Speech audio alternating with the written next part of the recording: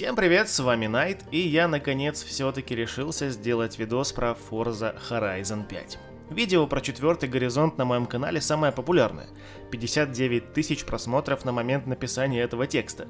По меркам ютуба число, конечно, далеко не впечатляющее, но для моего канала с количеством подписчиков менее тысячи это вполне себе неплохо. И появление этого ролика было лишь вопросом времени. Только вот в этот раз видео будет не таким комплементарным и радужным, как это вышло с роликом про четверку. Все-таки про недостатки тоже стоит говорить, а то после видоса про четвертый Horizon вы могли подумать, что я лютый фанбой, что разумеется не так. Как и в ролике про Breakfast, ссылочка на который, кстати, в описании, я разбил свое повествование на два блока – плюсы и минусы. И по классике, пожалуй, начну с плюсов. Первый плюс – это графика. Во время промо-компании разрабы вовсю хвастались тем, что текстуры в игре были созданы с помощью технологии фотограмметрии, что позволило сделать фотореалистичную картинку. И у них это неплохо вышло. Глядя на некоторые скрины, порой действительно сразу и не скажешь, что это игра. Но справедливости ради хочу отметить, что в предыдущей игре серии графика не сильно-то и хуже, так что пятерка хоть и технологичнее в плане визуала, но значительно далеко от старшей сестры не ушла. Хотя некоторые считают, что в пятерке якобы нет такого же реализма, как в четверке, и что в пятой части машины выглядят игрушечно. Реализм в аркаде. Угу. Понял, записал.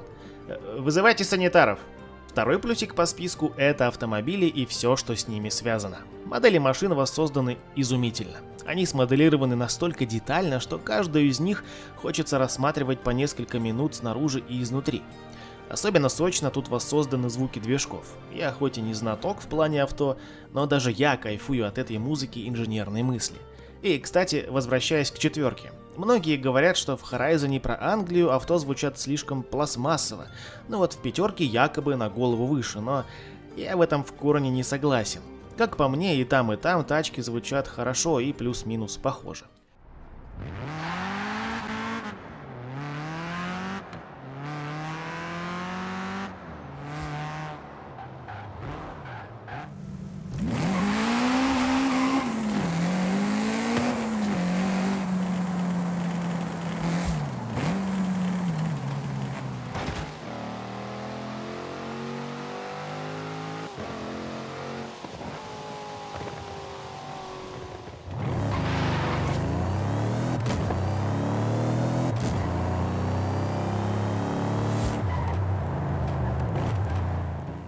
Далее по списку плюсов это Физон.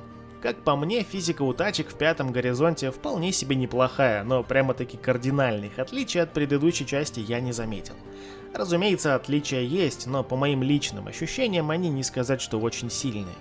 На асфальтированном покрытии в Forza Horizon 5 вроде бы машинки меньше сносят на поворотах. На оффроуде, как мне показалось, тоже немного отличается управление, но опять же, не сильно значительно. Как и в предыдущей части, тут точно так же есть возможность тончайше отрегулировать каждый компонент автомобиля, подстроив под свой стиль вождения либо установить уже готовый тюнинг, так любезно сделанный другим, более усидчивым игроком. Следующий плюсик это такой творческий инструмент, как Event Lab, в котором вы можете создавать свои собственные заезды. Единственное, что вас там ограничивает, ваше воображение, либо факт его отсутствия. Некоторые игроки там создают настолько невероятные треки, что порой задумываешься, а точно ли это создал человек, потому что для создания такого точно нужно обладать нечеловеческим терпением, ну и, разумеется, долей таланта.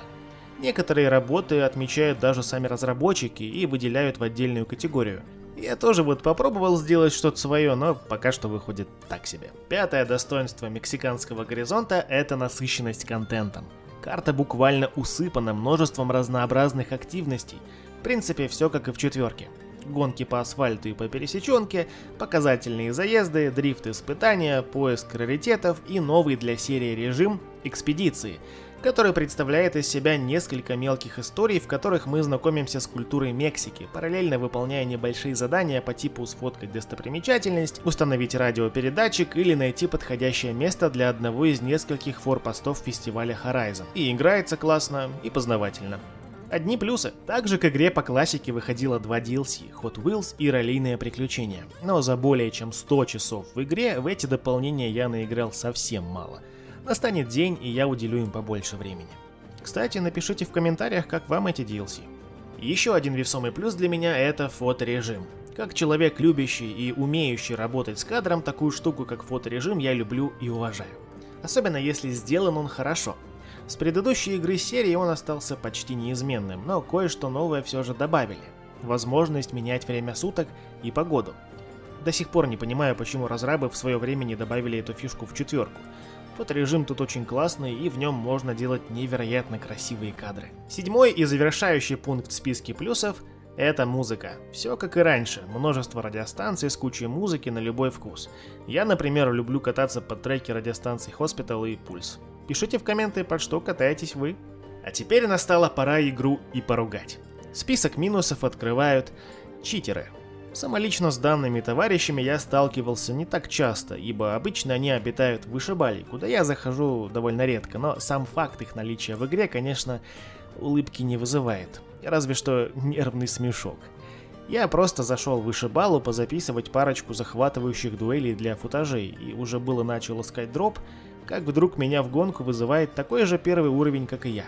Только нюанс в том, что на карте рядом со мной никого не было. Я списал это на баг. Forza и вправду порой выдает подобные перформансы. Но помимо карты, непосредственно машину соперника тоже не было видно. Но да ладно, наверное, тоже какой-то баг, подумал я, ведь до финиша остается уже меньше километра, и победа, считаю, у меня уже в кармане, но э, заезд резко заканчивается, и меня вышибают. Надеюсь, у него потом сгорел компьютер. Следующий очень неприятный минус – платные наборы автомобилей. Я уже купил игру за full прайс, плюс еще и самое полное издание, так почему я должен платить еще за что-то? Я бы понял этот ход, если бы игра распространялась как фри-то-плей проект, но ведь нет. Это платная игра, за которую я, кстати, отдал 4 с чем-то тысячи своих кровно заработанных. В игре и без этих карпаков полным-полно отличных авто, это правда, да. Но почему я должен платить за контент в игре, которую я уже купил за full прайс? Третий, по мнению многих игроков, минус это отсутствие рангеда. Убрали его из пятой части, обуславливая данный весьма странный мув тем, что это якобы все ради ментального здоровья игроков. Мол, в ранкеде четвертого Horizon было слишком много токсичных геймеров, и дабы избежать подобной желчи в дальнейшем, ранкед-систему в пятерку решили и вовсе не добавлять. Лично для меня это прям весомым минусом не является, так как я не особо фанат ранкеда в играх в целом, но для многих других гонщиков это определенно точно недостаток. В пятом горизонте и без ранки до токсиков достаточно. Просто зайдите в триал и наслаждайтесь альтернативно одаренными тиммейтами, которые нет-нет да найдут повод подрезать тебя лишний раз. Далее по списочку у меня стоит визуальный тюнинг. С предыдущей части ничего особо не поменялось. Визуальная кастомизация все так же, как бы так корректно выразиться, неоднородна. Для каких-то авто различных обвесов имеется штуки 3-4, а какие-то машины имеют лишь один обвес. Либо их нет вообще. Наверное, это связано с тем, что все детали в игре лицензированы, и для конкретных авто тупо не существует каких-то элементов кастомизации. Короче, надеюсь, в шестой части будет поразнообразнее. И, пожалуй, самая моя главная придирка, но не конкретно к пятерке, а в целом к серии Horizon. Стагнация. Начиная где-то с тройки, разработчики нащупали ту самую формулу успеха, которой придерживаются до сих пор. Это, как говорится, палка о двух концах. С одной стороны палки, мы раз в пару-тройку лет получаем гарантированно очень качественный продукт. С другой стороны, никаких сильно заметных метаморфоз серия не претерпевала уже с 2016 года, когда вышла третья номерная часть. Если разработчики и дальше продолжат делать горизонты по такому шаблону, игроки в конце концов от серии устанут. Я не знаю, когда это произойдет, к шестой части или к седьмой, но мне кажется, Forza Horizon ждет примерно то же самое, что было с Forza Motorsport 4, отзывы на которую хоть и были хорошими, но денег она принесла уже существенно меньше, чем ожидалось.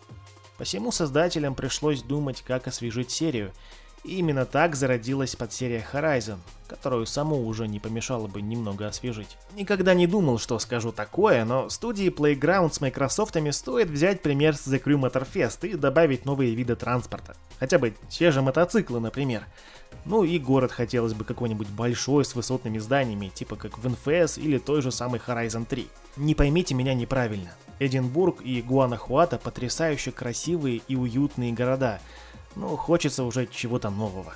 Forza Horizon 5. Это игра, которую я очень ждал в свое время и которую я люблю.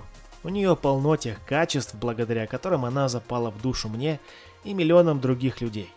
Ее также есть за что и поругать, ведь нельзя любить что-то, не замечая в этом изъянов. В ином случае это уже получается просто фанатизм. Знаете, следуя за горизонтом, я понял одну вещь. Иногда нужно просто расслабиться и наслаждаться поездкой.